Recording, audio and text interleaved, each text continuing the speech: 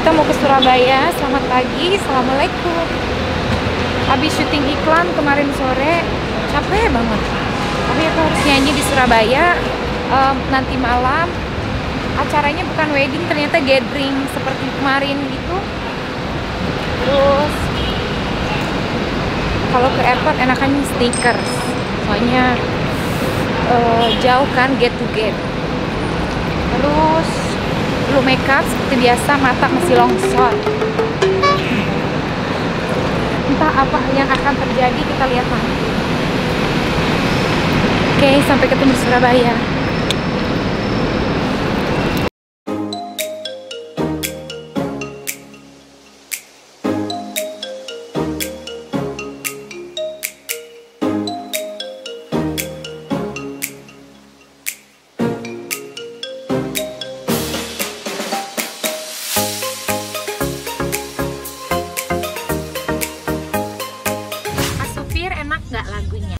Eh, lagunya Cinta yang terbaik itu enak banget. Jadi kalau didengarnya itu rasanya kita itu berada di dalamnya seperti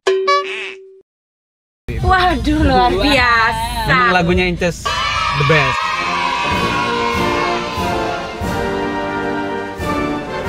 Sekarang Ya. udah berada di urutan nomor satu Wah, dan kalau kemarin masih eh, ada di urutan nomor dua. Sekarang Kemarin udah ya, nomor- Iya, sekarang di nomor kemarin. satu. Sekarang udah di nomor satu dan masih bertahan dan semoga tetap bertahan di nomor satu. Aduh amin. Di mana? Urut satu di uh, iTunes. Wah luar biasa. Tahu ya si Mas ini luar biasa. Terus tahu lagi saya besok pulang ke Jakarta mau langsung Car Free Day. Karena saya fan beratnya Inces. Wah terima kasih Mas. Seneng banget naik mobil ini dingin langsung dijemput sama eh, apa namanya Cinta sama lagu terbaik. cinta terbaik. Terima kasih ya Mas.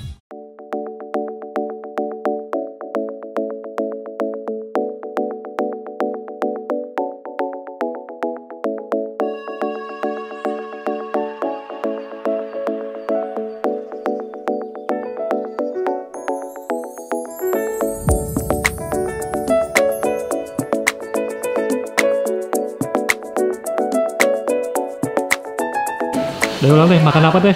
Soto Cakhar nih atau Rama. Langganan Kan ramah. rame. Soto Cahar. Kan kalau di Surabaya harus ada kulinernya. Jadi kita kuliner Cahar hari ini katanya enak. Yuk kita cobain.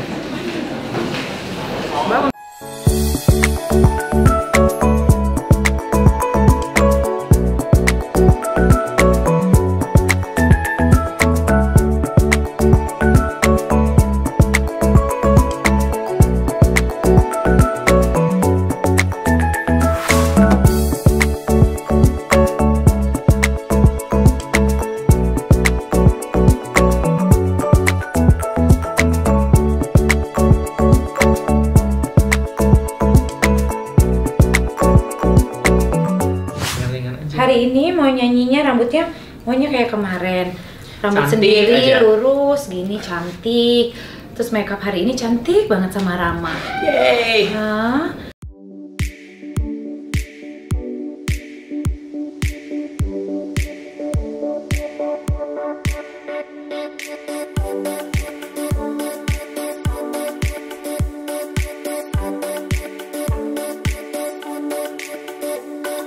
Lagu buat kita semua yang tidak pernah puas. Akan apa yang kita miliki padahal itu tidak boleh. Ah, udah lampas semua itu. Never enough.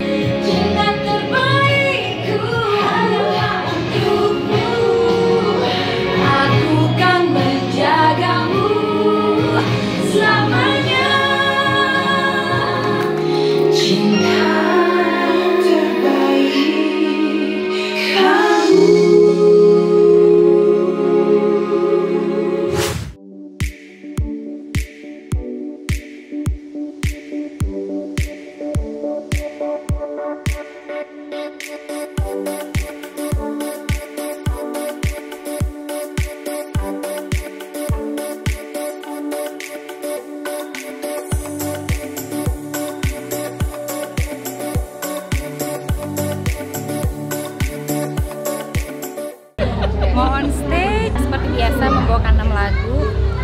Ini di request lagu terbaru tapi nggak ada Rani. Bingung juga ya. Ya ada backing vokal semoga bisa sama feel-nya nanti. Lagu terbaru cinta terbaik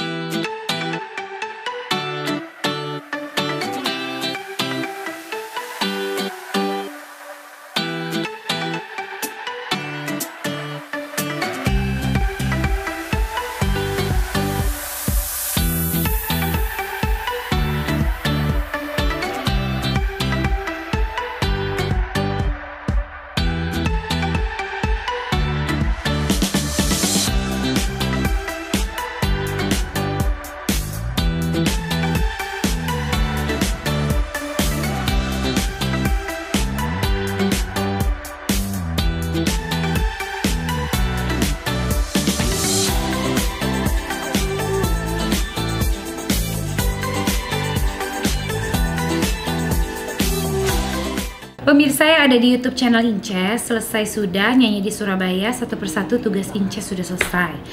Inces harus cepetan tidur karena besok jam 4 pagi ke airport eh, pesawat kita 5.30 ya kalau nggak Iya, salah. subuh habis subuh. Abis sholat subuh aku harus ke airport jadi aku harus cepet tidur. Terus besok pagi nyanyi di sekitaran Bundaran HI acara Car Free Day. Udah gitu panggungnya kalau Car Free Day kan tahu outdoor begitu. Kebayang nggak lo besok? Barusan aja begitu. Oke, tidak masalah karena mudah-mudahan penjagaannya bagus besok. Terus aku mudah-mudahan sehat karena Senin ini aku ada live Indosiar. Sampai ketemu besok subuh, oke? Assalamualaikum.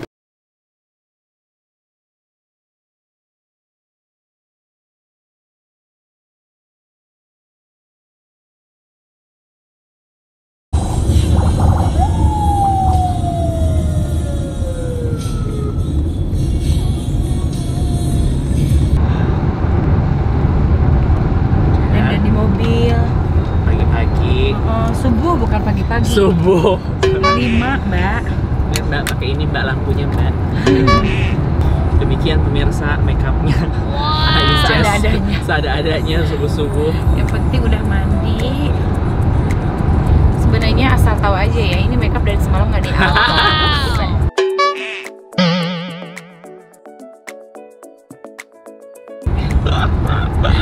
ini cuma tancap males aku kan nggak ada masalah dengan pipi penting mata ini longsor sebelah kiri longsor nih harus diangkat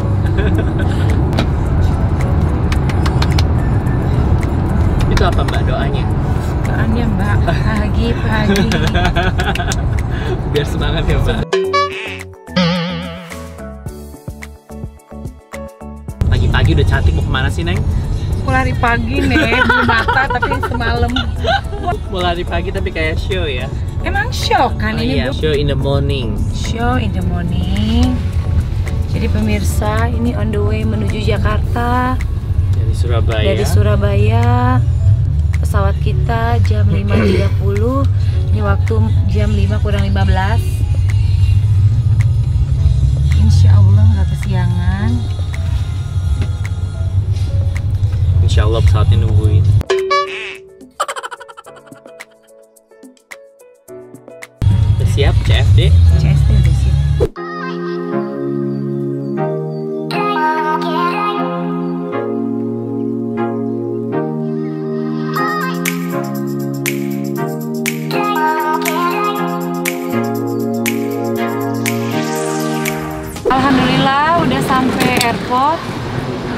masih ada 20 menit lah menuju boarding.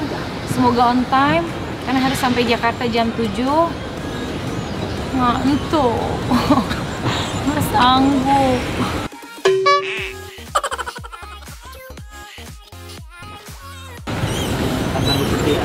Tak sanggup setia Iwok tim kita udah duluan yang ngurus koper apa segala macam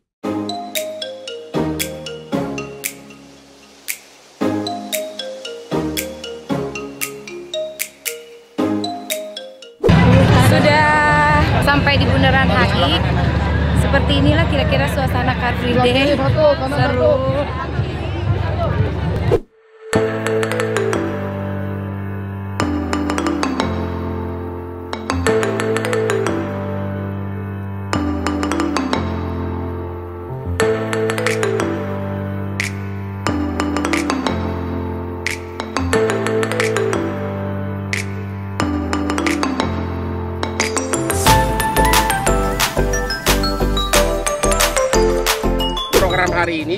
samping dewasa juga bully terhadap anak-anak. Betul, betul. Karena banyak terhadap anak-anak sudah banyak korban meninggal malah gara-gara Acara hari ini hari ini luar biasa ya, luar biasa ditujukan Stop terhadap anak-anak terutama. Tapi juga ingatin kalian dewasa juga nggak boleh. Jadi mulai sekarang stop bullying, jangan dianggap remeh banget loh. Kata-kata kalian main sosial media itu harus pinter. Bertanggung jawab ya Teh ya. Iya, bertanggung jawab sama perkataannya. Apalagi yang nggak ada faktanya, kalian ngomong si A begini, begini padahal nggak tahu, padahal dengar dari orang doang. Nah itu yang bahaya. Itu art- namanya alternate reality. Jadi mem- uh, yang nggak ada faktanya Dibesar-besarkan. seperti Sehingga digiring opininya seperti benar gitu. Karena ini kan semua ada undang-undangnya, ya. Ya. Kan? Dan akan dihukum berapa Lima tahun penjara. program stop, uh, stop bullying dan Jangan dianggap remeh. jangan dianggap remeh. Jadi aku uh, mensupport sekali sepenuhnya, terutama untuk anak-anak yang sudah menjadi korban sampai meninggal ya bang. Ya. Oke, Teteh mempunyai adik yang sangat menjaga gitu seperti apa sih Teh? Eh, saya beruntung sekali punya manajer yang seperti petir bicaranya dengan siapa pun dia tidak pandang bulu. Kalau memang dia merasa benar dan kita ada di track yang benar, dia pasti berbicara keras dan tegas gitu ya, bukan berarti kasar. Tapi aku tahu ini untuk kebaikan saya sebagai profesional entertainer. Jadi aku beruntung sekali punya manajer seperti dia dan punya lawyer seperti Bang Fatman. Kamu bulan puasa nih, ada persiapan bulan Ramadan. Gimana kak? Rani? Sedikit Teh. Bulan puasa seperti biasa eh, yang ditunggu dan dikangenin adalah tarawih dan sahur ya. Pengen mengadakan kegiatan juga nih sih bareng anak yatim kayak Eh of course, anak yatim saya ada 6.500 tahun ini dan akan dibagi dua awal bulan puasa kita akan serahkan yang 2.500-nya kepada yang berhak anak-anak yatim yang sudah kita kelola. Nah nanti dikumpulkan lagi sisanya di satu eh, hall seperti biasa karena kalau 6.500 capek kewalahan gak sanggup. Jadi sisanya nanti dikumpulkan yang betul-betul belum silaturahmi sama aku dan ketemu sama aku gitu.